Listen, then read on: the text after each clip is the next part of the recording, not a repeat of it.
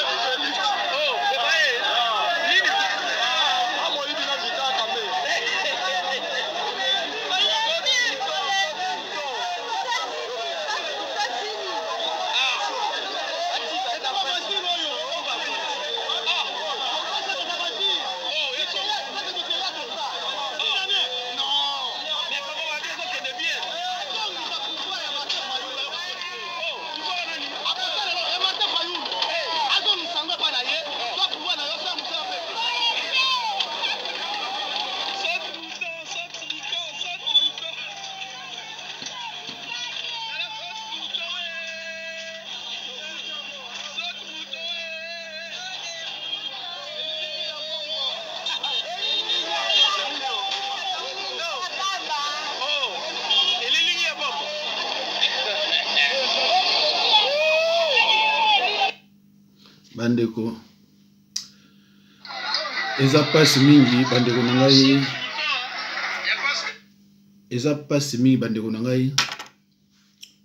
quand est-ce que peuple oyo akovivre la joie mboka mobimba makambo na makambo makambo sikoyo bakendaka kotonga soki biloko nini kuna ya beton na pascal bato bakufi bato bakuti ti na se mwana alanda yango mbango mbango yate pasi batindi ngai mpe mbango mbango esalami lelo ndeko ozomona peuple azokoloba Que Fayulu zwa pouvoir na yo. Tala pouvoir ya koyiba bandeko na ngai. Ah! Bandeko na sololi na basere moko bazolandaka ngai na Kinshasa. Bai papa oza mosika bozoyoka yango na sango. Awa ba morgue plein, ba morgue plein. Donc moyen kuta koloba eza te. Donc ba place eza susu te na ba morgue na Kinshasa. alobi meme na bopito bokaseke badoktere wana baza bacongolais soko baza barwandais baza baburundais baza soki ya banani donc soki moto akoti kaka na hôpital neti mama yemo eza neti yo okendaki komitika alo bato sikoyo baza koprefere bakendeke na bahôpital privé pardon na ba oui oui na bakamwa baclinique privé soki bakamwa badispensaire privé mpo na lobiko mais kala eza susu kote mbongo bandeko eza mawa nauti kosola na bato meme ya prison c'est regrettable bandeko na ngai donc bandeko biso moto toza bakoto oyo toza libanda bosenga merci mpe ya nzambe peuple aza kosouffrir na ndenge moko na monde entier oke na prison bato baza kuna bazanga badossier me bafandi kuna bango ntango bayoki tshilombo alekaki bayokaki ka ah, c'est un congolais tokoma mwa bien c'est encore pire bandeko na ngai kende na kisasa morgue partout etondi j'ai un ami auto kunda papa na ye alobi bango bakendaki kodebrouye soki kote nini wana bo bafuti par jour soki 10 dollar soki 20 dollar mpona corps baplace eza te eza te bibembe mwa bazelaka kaka samedi ali te bokundaka kaka siko ndenge wana ndeko na nga mboka ya ndenge nini mboka ya ndenge nini ekoza na niveau ya makambo ya boye ndeko bapriere nini toza kosala te nini tozoloba te chilombo ata kindoki yango ezalaka ya niveau nini meme soki bobotamaka na yango bino baluba ah te na niveau ya boye te sikoyo soki botali mpe chilombo botala ye bien bozo remarke ndenge chilombo azalaki aza su ndenge wana te chilombo akomi na monene moko mabe koto mpe bimi akomi castar koleka ndenge toyebaki chilombo avant eh, akoma président bandeko chilombo azozokende na nzela mabe chilombo azokende na nzela ya mabe bandeko na ngai tokolamuka na ntongo boye toyoki eloko mwa malamu te e, e, ekiti mpo na otilombo c'est pour cela bandeko na ngai soki boza na bandeko na bino baza bapoliticien ce sont des chiens de kabila yokisa bango video oyo loba na bango boye soki bakobima na fcc te bakokufa lokola ba comedien nde ba comedien bazokufa na pardon nde ba comedien bazokufa na kini loba na bango oyo oh, nayokaki te bapoliticien congolais oyo bazali na fcc babima ba rejoindre lamuka yebisa bango pasteur jacques dinabanza alobi na tous les chiens congolais tous les politiciens congolais bakite fcc bazonga na lamuka bomoni bato mosusu ya idps bazoya na lamuka kaka mpo na soni hein? babandi kocomprendre kano bacomprenaki te babandi kocomprendre babandi koya ndeko na ngai bomoni bacomédien ba baartiste de comédien na bino wana ti tokóma na décembre soki losambo ya makasi ekozala te moko fo atombe lisusu to mibale soki bakobondela na ndenge ya solo te moko akotombe d'ici décembre soit deux eza maloba mosali na nzambe faute ya bana bato mpe te parce que ndenge batie bango na situation ya précarité situation ya nzala il fallait ka bazala bamandia pai ya, ya olive bino moto boliana olive o oh, olive aserva bino ba rwandais bazo travailler hein? olive pe azo travailler olive azo travailler ti lelo hein? bolongola ba idée na bino ke bapeti wana baza kokufa mpo basimbi bakisi te bakomedi wana bazokufa te mpo basimbi bakisi bamelaka yango neti mai eza na mabumu soki omoni comédien abeli meme soki omoni talingi koreprendre soki osambela makasi te suku nango akokende je dis bien meme soki omoni ke oh, nabiki nasali boye soki akosambela makasi te suku nango akokende na 2020 oyo baza de ou bien moko hein? soki bapriere mpenza makasi kozala te ekozala mawa mingi nabi na bino ke na terrain bale ezobetama na ndenge moko congolais aza toujours na ignorance me ndeko na ngai soki bapolitisien na bino bakoya na lamuka te bokoyoka sango un jour bokoyoka sango ndeko soki ofandi ozokaka video nazosala nazokoloba soki osilisi okoki koreprendre yango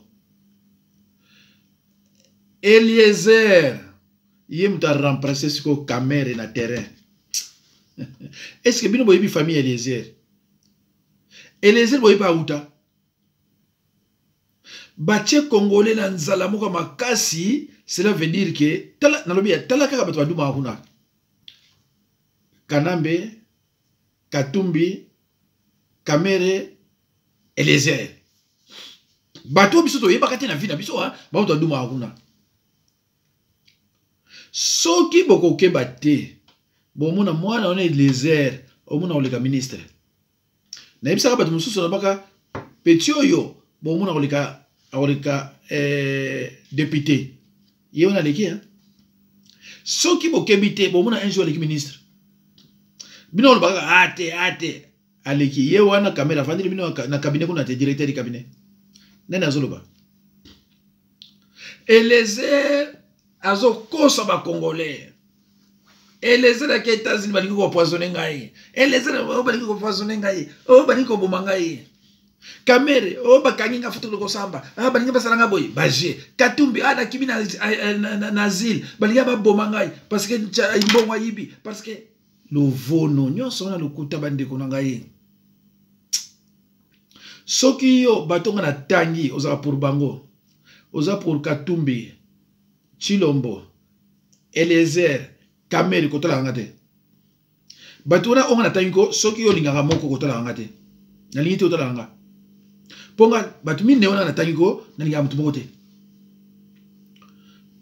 bokokritika nde bolingi mais ntango nazotala mpasi ya peuple nazotala bato baza na prison nabi na bino teke bato ya prison baza bamiyibi ba mais baza bato malamu mais eh, 60 pourcent bainnocent moto bavandi kuna soki olobi bakangi yo batie yo kuna kamere azopesaka baordre bakanga bato babwaka bato na prison kamere kamere aza nani bandeko na nga un directeur du cabinet na mboka nini bomona directeur du cabinet alobaka mais directeur du cabinet aza boy ya, ya président ya république te aza wana uniquement mpona président ya république ce n'est pas un membre ya gouvernement azwa portefeuille na gouvernement te mpa na biso kamere fo aloba bato mpe bazotala ye kamere auti kotambola na ye baye koyamba ye na aéroport baye koyamba atake nani me baye koyamba ye atake nani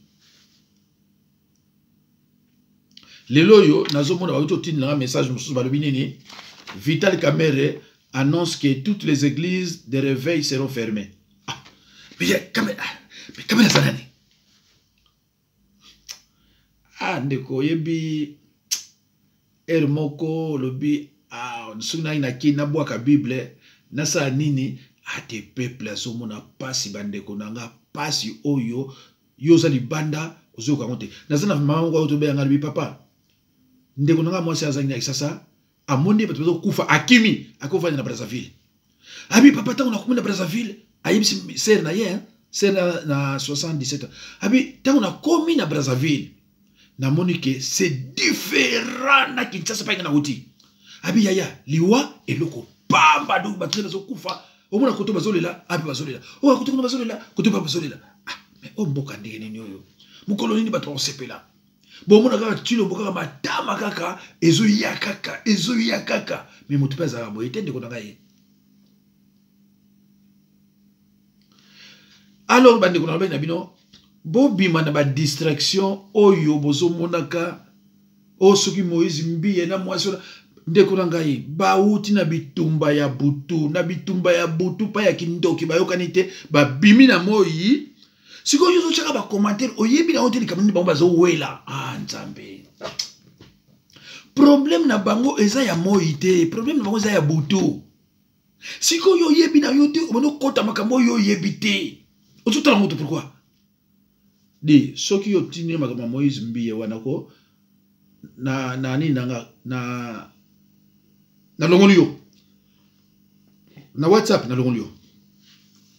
en tout cas so otindi ngai mosu nalongoli yo alors tokotala so totali bien awa tozomona nini héritier moluba Evêque Mukuna, Muluba. Mut Pasteur Mutombo, Muluba.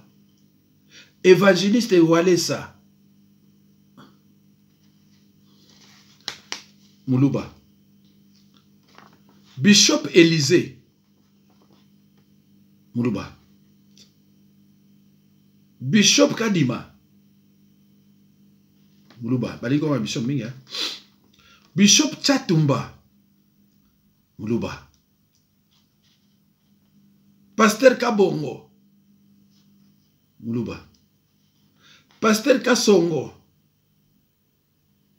muluba pasteur moïse mbiye muluba soki mi kalambai hein? ye yeah, kalambai muluba michel bankenda muluba eh, pasteur eh, pierre kasende soki pierre kasende soki nani oyo aza na 12 femme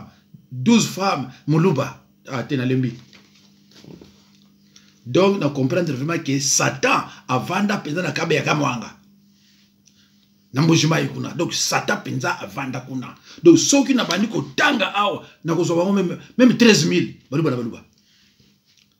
place nioyo okende muluba azanga aza pasteur te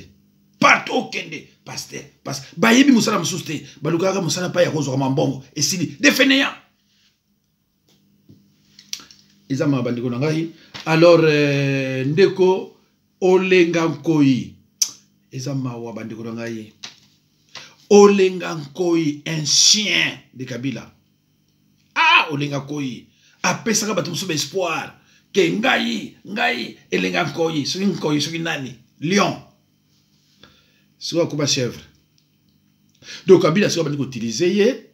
lokola moto abanda kocomprendre te chien ya kabila un ancien chien de kabila nani euh, mukuna lokola azoloba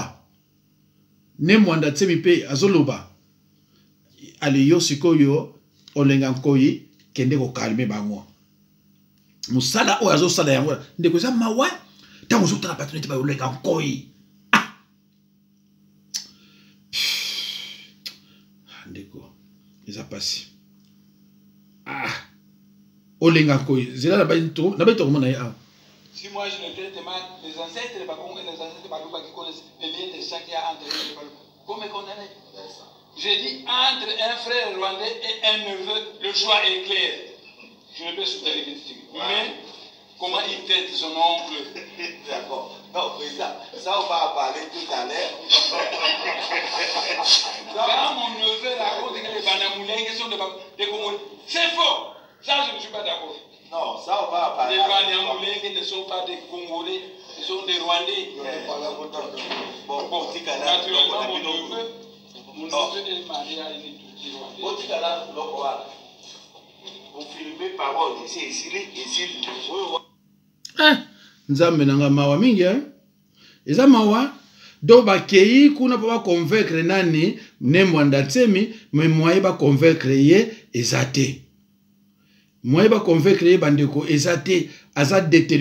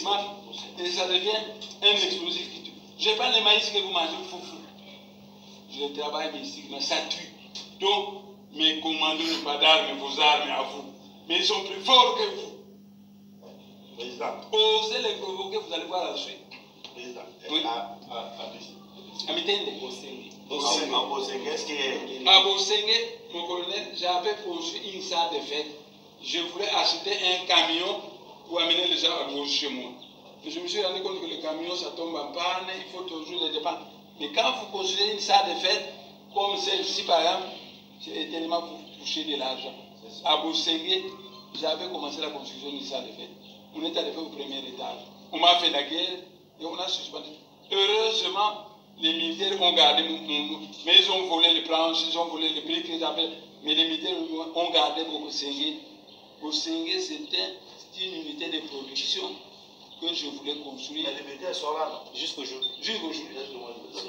Oui. C'est la police. C'est la police. bandeko na ngai merci beaucoup mais soki tozalaki na bato neti bamwanda nsemi 10 ou bien 20 nde nabanzi kabila akima tozomona c'est la seule personne le seul individu bakangaki ye batiki eh, lelo aza libanda mais azokontinue koloba azobanga te azoprefere baboma ye mais azoloba clairement que entre un frère rwandais et un neveu congolais le choix est clair aza kofaire comprendre bango kuna ke non babanyamulenge so de rwandais azoloba yango na kati ya kini eza te neti biso azoloba awa na bavideo ye azoloba yango na kati ya kini donc un vrai résistant nde eza ye ndeko na cameroun depute akufi hein? bokoyoka pretre makambo aza koloba pretre alobi hein? meme soko akufi hein? akufa na ye parce azotravaille mpo na intérêt ya mboka te ndeko nanga bolanda na cameroun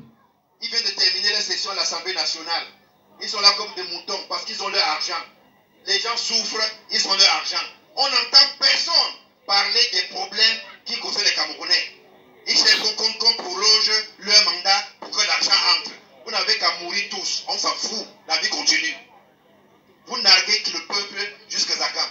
L'heure du Seigneur va arriver et il va agir, tout le monde va voir. Loué soit Jésus-Christ. À jamais. Euh, bandeko boyoki ya mosali ya nzambe ake mpo babengi akosala priere boyoki makambo alobi alobi bazo kotravaille mpo na peuple camerounais te bazozuba mbongo bazolia bango bokokende bino nyonso bokokufa ebembe eza wana na miso ya fami na bango ndenge biso mpe tobanda koloba ye lokola alobi yango bacamerone bakritike ye te mais soki ezalaki ke biso moto alobi yango nde vraiment bakritike nde ekomi ndenge moko akosakana te alors bandeko nazoluka motu moko awa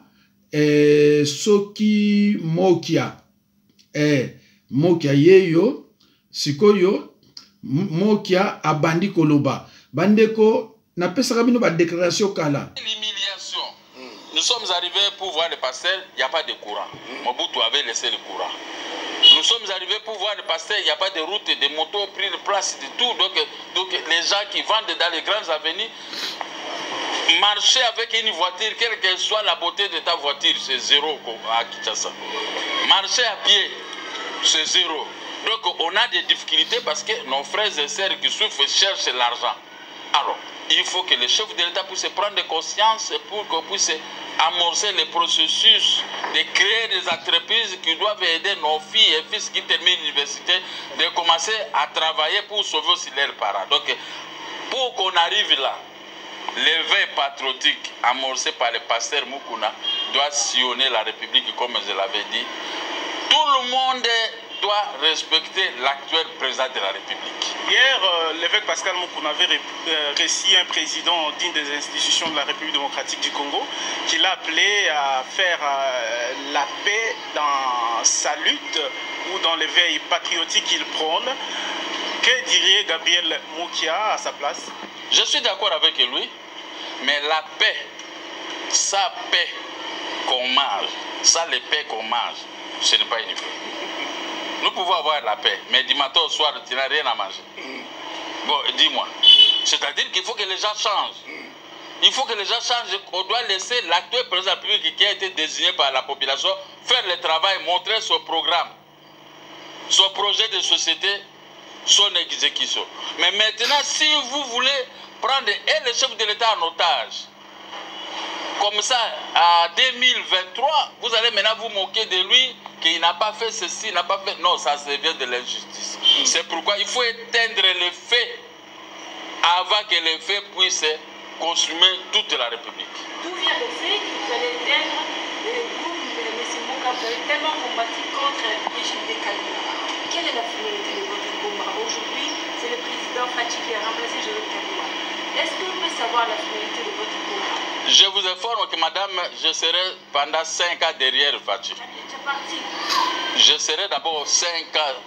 je vais être derrière le fils de notre vieux Tshisekedi.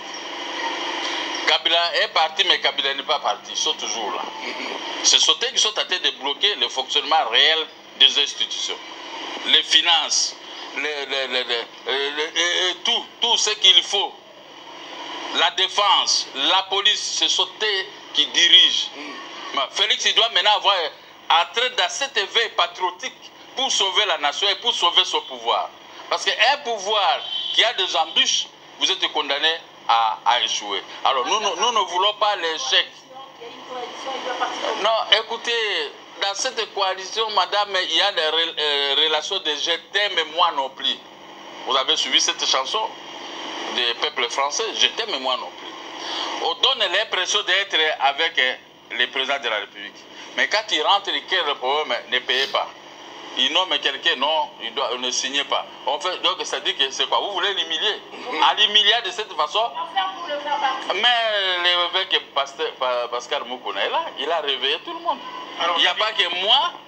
D'autres personnes viendront en masse pour appuyer ces mouvements et pour que le chef de l'État soit dédouané de tout. Et il doit montrer maintenant de quoi il est capable pour gérer le Congo. nalinga na président gabriel mokia nini bacongolais bakokanga na kokutani na bino na évêque pascal mokuna initiateur ya euh, éveil patriotique bon nakuta tokutani na ye parce que tomoni ke mboka ezotambola malamu te moto oyo bapesi ye pouvoir aza lokola aza na pouvoir te me azo se force mpo asima te pouvoir na ye me tomoni nyonso oyo ezosalama yango mosali ya nzambe amoni ke non meme na, na israele nzambe alamusaki baprofete ebele bakoti na makambo ya bafilistin balakisi bana israele koma bakoganye bafilistin me wana ezalaki makambo ya nzambe moto abandaki koedike Ndenge Nzambe abandi ko indiquer basali ya Nzambe mpe bakuti biso na terrain, biso tobundi bitumba oyo, tokangami, babotoli biso biloko, basali biso mabe. Sikoyo basali ya Nzambe mpe baye aye na deux etiquettes ya mosali ya Nzambe na ya peuple parce que soki bangungi baswi ye na ye na ngai tokozala toujours na hôpital mpo baswani biso malaria alors lokola sikoyo ye abimisi mutu na éveil patriotique mais il faut baninga tu baapuye soki olobaki ke yo ozalaki opoza lokola ngai nazali si opoza te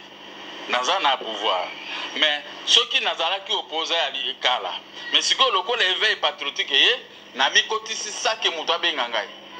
mpo tobunda ensemble mhm. naza mpe naye tere moko te nayeli mbongo te nayeli pouvoir te naye mpe eloko moko te naye kokota na bitumba oyo ekobikisa bana ya mboka nyonso tu dede naye kokota na bitumba eh, bandeko eh, bandeko bomeka nanu koreflechir euh, na nyonso oyo boyoki bomeka nanu koreflechir bandeko na ngai na oyo boyoki mokia mokuna e eh, hey, tata nzambe donc baye kolamuka omoni babandi kolamuka kaka siko vraiment mpe inane donc ntango wana osala na kabila bozoyebana bino te bozosala na motu moko aza enemi bozoyebana bino te oyo oyo chien mosusu ya mokuna te yango kabila azopesaka bambongo ozolia ozosepela ozoyebana yo eloko ozosala te oyo mokia obandi koyeba sikoyo mais didon bino moto ozoyoka kolanda ngai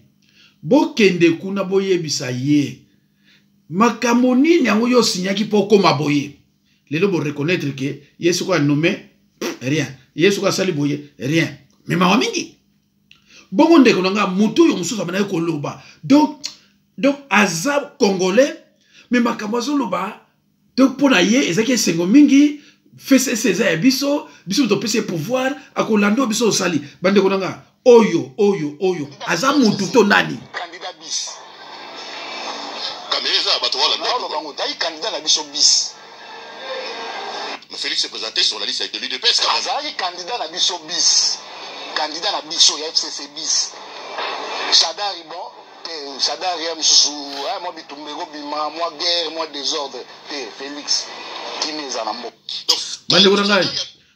moto oyo bolandi eske aza liboma to aza mpenza normal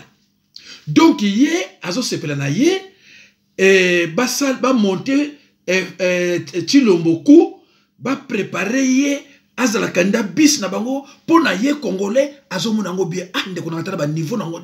botala mpenza niveau tozali donc un congolais aza na kati ya fcc aza na audace ya koloba ke kandida na biso bis ah bandeko na ngai ya de quoi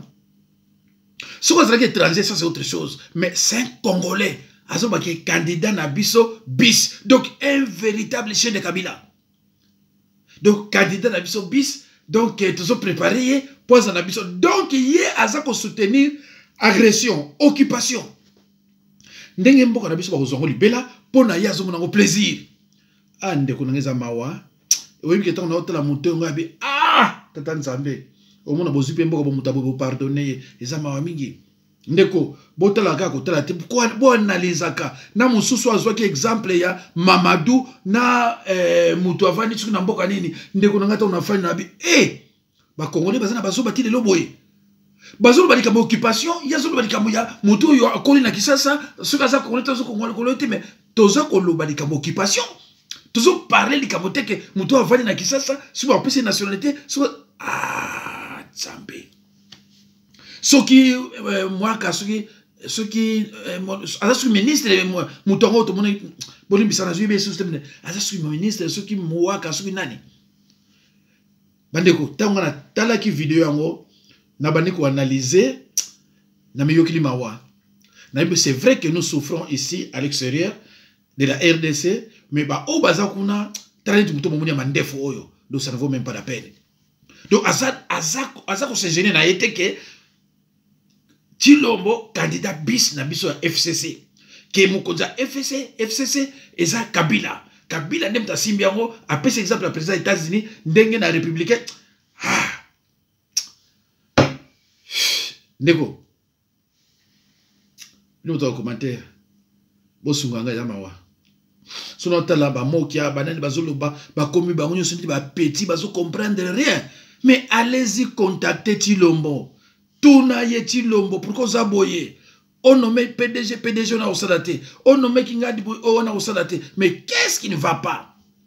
bandeko bino olobaki ke natikaki bino eloko yango esilaki te me botala ndenge molubana alobaki ke mwasi atilombo azalaki ne ndumba ah, botala mosala bana osala na londres eh, meme basi nyonso bazokota na place wana te bamisi bayali me ye azokota alo bandeko mm, tolanda yango kameme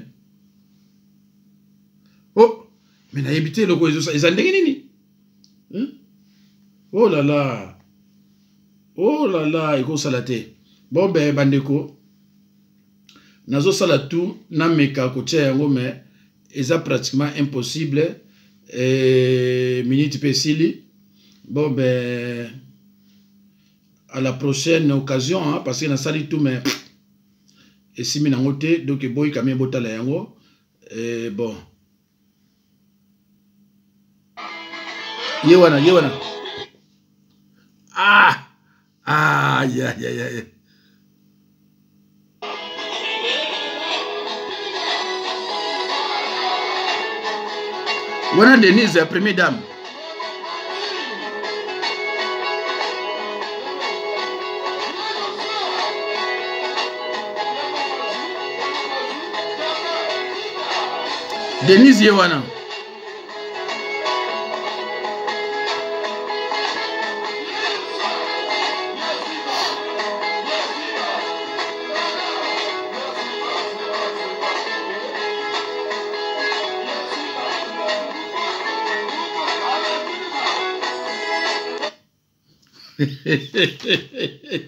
c'est vrai que